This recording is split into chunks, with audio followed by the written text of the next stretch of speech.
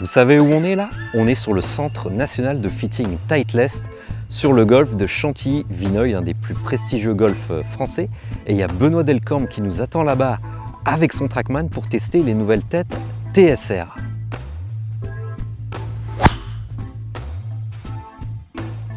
TSR2, on a vraiment travaillé sur l'aérodynamique du club. On rend le club beaucoup plus compact et surtout, l'aérodynamique va permettre de créer plus de vitesse de club à l'impact. TSR3, là on a, on a retravaillé aussi toute l'aérodynamique, une tête, une couronne qui est beaucoup plus bombée par rapport à avant. Euh, la face, toujours pareil, on a cette face ATI 425 aussi.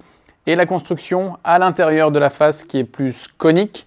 Et encore une fois, euh, on va permettre de créer beaucoup plus de vitesse de balle sur un driver qui est plus précis que le TSR2, mais qui va aussi permettre de créer avec le système de fitting que l'on a à l'arrière, ce qui va permettre de créer aussi bah, plus de tolérance sur des frappes qui sont décentrées ou alors créer davantage de trajectoire balle haute, balle basse. Là ici on a TSR4, euh, c'est une face qui est extrêmement compacte, on a un volume qui est à 430 cm3, un driver qu'on va recommander à des golfeurs qui sont à plus de 3500, 4000 tours par minute de spin et qui ont du mal à baisser leur taux de spin. Et c'est grâce au centre de gravité que l'on a ici. On a un poids qui est très très vers l'avant qui va permettre de faire baisser le taux de spin, ce qui va permettre de garder un driver relativement très low spin et d'avoir un launch un petit peu plus important, un angle de lancement un petit peu plus important.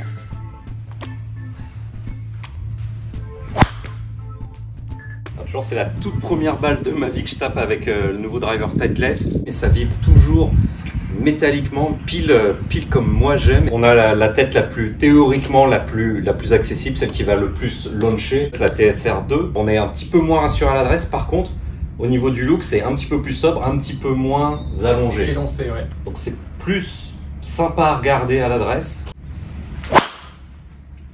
Sur les trois, j'en ai pris aucune dans le centre de la face. Et les balles, euh, les ont aucun souci pour aller, en l'air. Donc là, on passe au TSR 3, donc une tête plus compacte. Il y a deux ans, quand on utilisait le TSI 2 et qu'on passait au TSI 3, on voyait une nette différence à l'allure. Là, il n'y a vraiment pas de grosse, grosse différence entre le TSR 2 et le TSR 3 à l'adresse. Belle vitesse de balle, 162 ici. On avait une moyenne euh, ce matin à 159, 160 pour euh, ton driver et le premier TSR2. Il y a 10 ans, je voulais pas jouer les petites têtes de Titleist, je les trouvais vraiment pas rassurantes. Avec une carte dans la poche, sur le parcours, avec des arbres autour, on est quand même content d'avoir un peu de tolérance. Et là, je trouve que les, nouvelles têtes euh, numéro 3 de Titleist depuis la génération précédente sont un petit peu plus accessibles. J'ai aucun souci de mettre la balle euh, en l'air, je pense que Ben peut le confirmer. Quasi à 15 d'angle de lancement, 2300 euh, tours de spin, 161 de ball speed, 15 d'angle de lancement. Alors peut-être qu'un réglage avec un loft un petit peu plus fermé ou un poids un petit peu plus léger pourrait permettre de créer euh, quelque chose un petit peu plus flat, un peu plus, un peu plus bas et plus maîtrisable dans des conditions de vent par exemple. En tout cas, j'aime beaucoup le Ventus euh, en blue. C'est évidemment l'un des meilleurs shafts euh, du marché. Est-ce que c'est un shaft euh, en upcharge, Benoît Alors oui, chez Titleist, on a une upcharge qui est de l'ordre de à peu près 500 euros en plus du prix du driver. Et c'est un shaft qui est hyper, hyper qualitatif. Et c'est la version Velocore, donc avec la, avec la vraie technologie. Sur les coups tapés en pointe et talon, ça me garde un petit peu de, de dispersion. J'ai l'impression que ça m'a resserré un peu la dispersion par rapport à un shaft euh, classique. Là, on va tester le TSR4 qui est le, tueur de spin euh, de chez Titleist. Ça fait déjà deux générations que vous proposez des, têtes euh, numéro 4. C'est le premier bon coup pour moi avec le, TS4. Toujours ce son beaucoup plus sec. Speed, on est à 161.2. On est à 2100 tours de spin, donc 107.7 de vitesse de club, 161.2 de vitesse de balle, ce qui donne un bon, un bon ratio pour faire partir la balle. Carry de 50 et de 76 pour, euh, pour le total. 30 cm3 de volume en moins, ça joue sur la stabilité, euh, Benoît, c'est ça? Dès qu'on va décentrer un petit peu la balle, forcément la face va vriller davantage, un peu plus de, de, dispersion. Si un golfeur a tendance à décentrer la balle, là il vaut mieux plutôt aller vers un TSR2 ou un TSR3.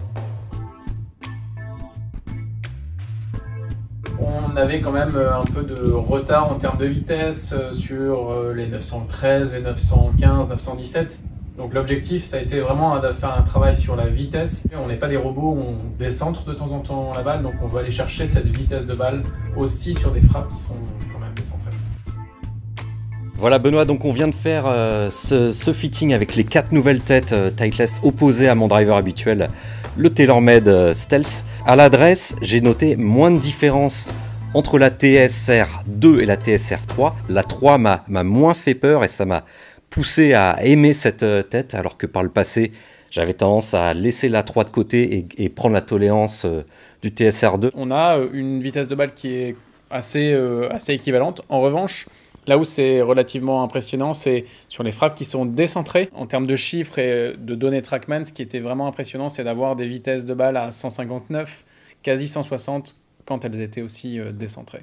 Voilà, en, deux phrases, en gros, match nul sur les coups bien tapés entre, entre et Titleist. Et visiblement, il y aurait j'aurais quelques mètres en dispersion et en longueur à gagner sur les mauvais coups. Un autre feedback, euh, le TSR4 qui a vraiment baissé mon taux de spin, euh, Benoît, donc on a gagné 2, 300, 400 RPM de spin, c'est énorme. juste en changeant la tête, oui c'est énorme, et un golfeur qui a 3500 euh, et qui, met cette tête de, club en jeu, le TSR4, de 3500 avec un shaft correct, avec une combinaison correcte, on va pouvoir le faire passer à 2007, 2008 sans aucun problème. Au niveau du, toucher, je vous en ai parlé tout à l'heure, il est vraiment idéal sur la tête numéro 2 et la tête numéro 3, ça, ça ne change pas. En revanche, pour la tête low spin, j'ai trouvé un petit peu sèche à l'impact la forme du driver TSR4 est totalement différente et on a aussi moins de matière puisqu'on passe de 460 à 430 cm3 pour ce driver-là. Donc effectivement, on peut avoir un son, une sonorité, un feeling euh, différent par rapport aux deux autres. Voilà, donc euh, on conclut comme d'habitude euh, à Chantilly. Faites-vous fitter, il n'y a, a, que comme ça que vous pourrez déterminer quel driver vous convient le mieux avec des bons chiffres, mais aussi les bonnes sensations grâce à une grande variété de shafts. Benoît, merci beaucoup. Merci à toi. Et on se retrouve très vite pour d'autres nouveautés matérielles.